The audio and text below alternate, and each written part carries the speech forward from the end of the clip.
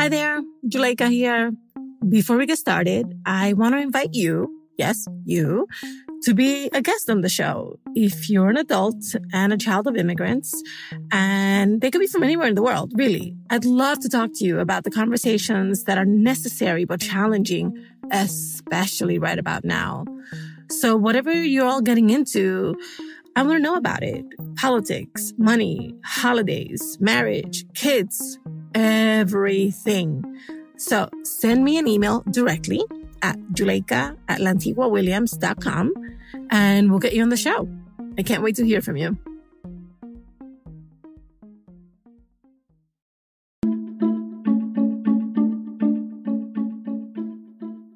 Hi, everybody. Today, my guest is Gloria. A few years ago, Gloria experienced intimate partner violence in a relationship. She eventually walked away, but opening up to her mom and getting the support she wanted was nearly impossible. Let's get into it. My name is uh, Gloria Martinez, and my family comes from Puebla. They immigrated to the US actually when my mom was eight months pregnant with me. So I do always like to say that I was made in Mexico, but exported to the US. And um, I grew up my whole life in Southern California. I'm one of seven children in my family. I'm the third eldest. And uh, in my family, we call um, my mom mom now. Originally, when we were little, we used to call her mommy and papi, but now it's just mom and dad. My mom, I have very few memories of her actually growing up. She was, you know, always doing something around the household. She never really sat down to talk to us. She was always just so busy. Both of them were. I mean, they both worked really, really, really hard. So there wasn't really much of a relationship between my mom and I. And the relationship between my dad and I was, you know, very, very typical, very authoritative. When I was in college, um, my parents split up. And so they were always a unit. And I thought, even though there's somewhat dysfunctional, we're still a family. But uh, last year of college, my parents broke up. And I was trying to find some kind of comfort. I ended up meeting uh, this person at work. He was actually older than I was. And I thought, well, he's older. He's probably more mature. He knows what he what he wants. He's not going to be playing games. And I just wanted some kind of comfort and safety because I felt that my whole life was kind of falling apart. And if I could have some stability in my life, then it would make me it would make me feel like everything was okay. And it's interesting because I feel like I quickly saw some red flags, but I chose to ignore them. I started noticing that he was a little bit possessive. And I think seeing the way that my dad was with my mom growing up made it seem like it was okay. But having gone to college, and having seen relationships that didn't look like my mom and dad's relationship, made it seem like it wasn't. So I was a little bit confused and part of me was like, well, this feels like this feels familiar, so it must be okay. Fast forward, we ended up getting pregnant, and that made it a little bit more difficult for me to pull away from the relationship because I said, well, I mean, now we're a family, and mom says that you try no matter what, and you know, she's been trying no matter what, so I was trying. you know, it started off with him just calling me names. He called me so many things. I guess I was probably the one who initiated that because I I've never been insulted in such a way that I felt so much rage and anger inside of me that I slapped them, you know, and I asked them never to call me those things. Well, um, he slapped me back not once but it was like back to back to back and that was the first time that the violence showed up. I just i just cried. I grabbed the baby and i was just crying. I didn't know what to do. I wanted to run away. I wanted to leave. But i was also very ashamed I, I didn't want to go to my parents and tell them like, hey, this happened, or to my mom because my dad was no longer in the picture. But I didn't want to go to her and tell her, you know, this is what's happening in my life. I don't know what to do. Can you please help me? I just I didn't know how to do that. It happened again, and that second time, I grabbed the baby, I walked away, I called my mom, and uh, and I told her to please go pick me up, and she did. My brother actually showed up with her I, I don't know. Like they didn't they didn't talk to me about what happened. They didn't ask me. All they said is like are you okay? And i said yes. And i would just go to sleep every night and just like have all of these feelings inside of me and all of these thoughts. But i couldn't. I just couldn't talk to my mom. And she never asked me. Like she never dug. Like there was just silence. There was just silence and no one talked about it. Everybody knew what happened but nobody talked about it you know, I would leave and then he would convince me to come back. But I remember visiting her once and I overheard her talking about me in a way that she was pretty much saying that I wasn't very smart. In her words, una mensa, you know, que era bien mensa porque I hadn't learned my lesson. And that hurt a lot. And I told her, you know, like, why are you talking about me? Like, why don't you talk to me? You're not even asking me if things are okay, if I'm feeling broken. Like, you're not giving me any advice. You're not telling me what to do. Like, you've clearly gone through all of this. So, where where where are you like where are you as a mom like where are you as you know a support system like how am I supposed to know this? How am I supposed to know what to do? How am I supposed to know? But I didn't realize that it's because she was struggling with her own understanding of what it meant to be a partner, what it meant to be a part of a relationship.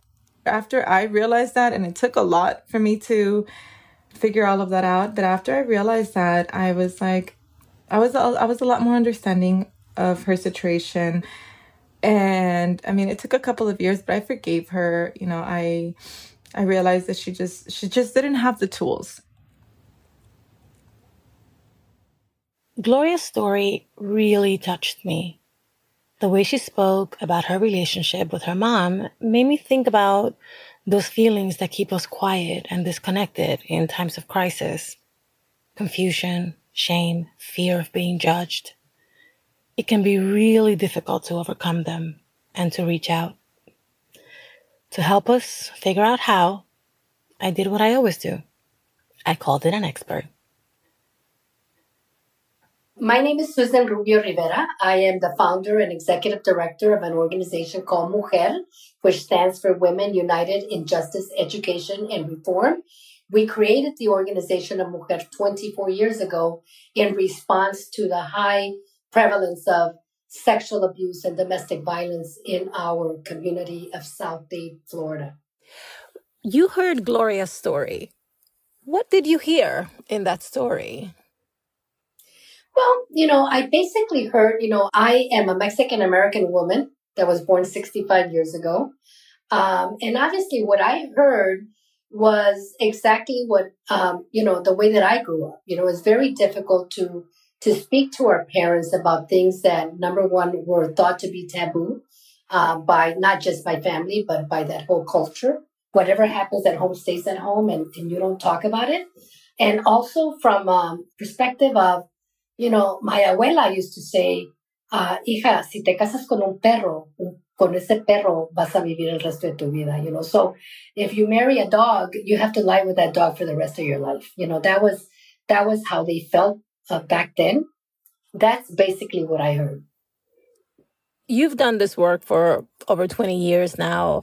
I'm really interested to know if you've if you're able to identify some of the conditions that exist in Latino households and families and in immigrant households and families that might exacerbate you know these situations that might create fertile ground for these situations what I've learned through Mujer and what I've learned on a personal basis is the fact that uh, many times our culture has taught us that we are supposed to be subservient that we are supposed to be submissive. When we and, and many times we've seen that in our own house in, in our own household. So for example so i grew up in a house you know where i saw my mom being beaten by her by my dad almost to death many times and where i was told as a five year old to to not say anything to not react or else i would get it too um, and from there i went over to live with my maternal grandparents my grandfather who was also very machista and who also basically said I am the king of this castle and you're going to do what I say, you know? Um, we also learned that sometimes, sometimes when you're here, like second generation born, like myself, you know, we learn to say the violence stops, stops with me and it's not going to continue for another generation because we've also learned that uh, domestic violence and sexual assault is, is intergenerational. It can carry on from one generation to another. Someone listening who might be saying, Oh my God, that's me. That's my mom. That's my dia. That's my family. How do they break the cycle? What are the strategies once there's that recognition that something has to be done?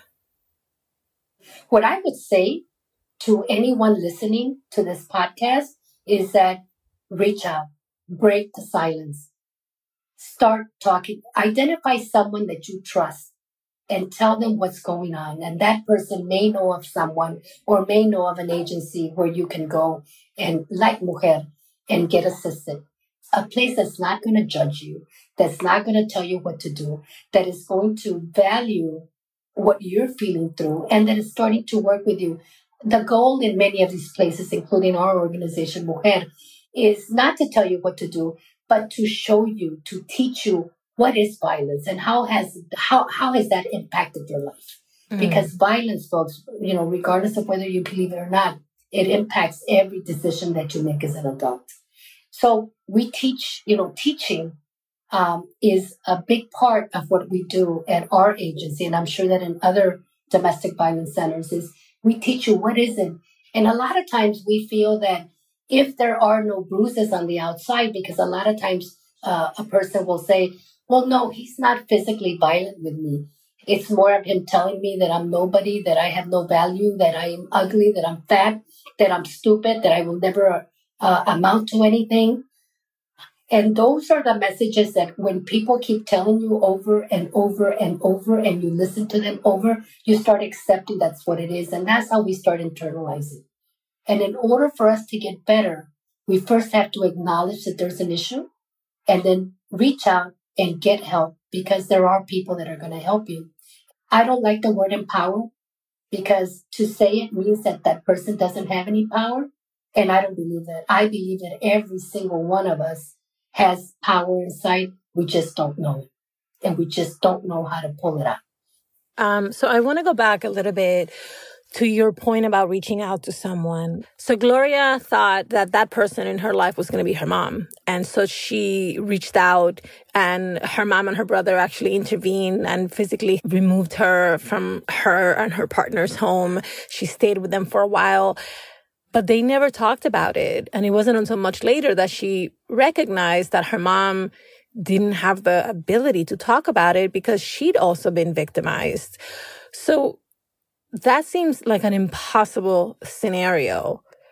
What would you advise someone in that scenario where they recognize that they are trapped in the cycle, but that the person from whom they most want help is really the least able to help them? Well, I, I would say, I mean, I think that you've already answered your question. um, I, I believe that number one, absolutely, what happened to Gloria has happened to thousands and maybe millions of women all over the world, I'm sure. Um, you know, when we're in that situation, what do we want when we're, we've been abused? We want moms to come to us and maybe not even say anything, but just hug us. Moms, if you're listening to me, you don't have to say anything. All you have to do is go and hug your daughter or your son, because sons are victims too, and that'll resonate how much you love them. Don't expect something from them that they're not able to give. You know, and, and that's what I would say. But don't stay quiet. If someone isn't able to give you that type of of, of uh, support at home, find someone else that can without putting yourself in danger. Again, I tell you, reach out to a community based organization that has experience in working with victim survivors of domestic violence. So here's a delicate one for you. How do you help your mom or an elder person in your life who might be in this situation without coming across as invading their privacy or being judgmental or intruding on their you know on the sanctity of their relationship. I would go to my mom and i would say mommy i love you mom. I'm here for you. But you know what mom? No one can change anything until that moment that that person decides to change. You live your life until you decide that you no longer want to live it that way and mom when you get ready, mother, I'm here, mom, because I love you. Beautiful. That's such a great way to mm-hmm. end. Thank you so, so much. All right, let's recap what we learned from Susan. Speak up. There is always someone ready to help. Whether it's a relative, a friend, a neighbor, someone at a local community organization, someone is ready to help. Intimate partner violence is more common than we think because so few people talk about it. But there are resources and there is support if only we reach out. Recognize the impact. Violence takes many forms physical, emotional, verbal, psychological. To help ourselves and our loved ones, the first step is to name it and to recognize its impact in our lives. And remember, start with a gesture. Even if we're not ready to talk, to open up and to be vulnerable, a hug, a physical sign of support, sitting quietly next to someone, those small gestures can go a long way in helping someone feel safe, seen, and supported.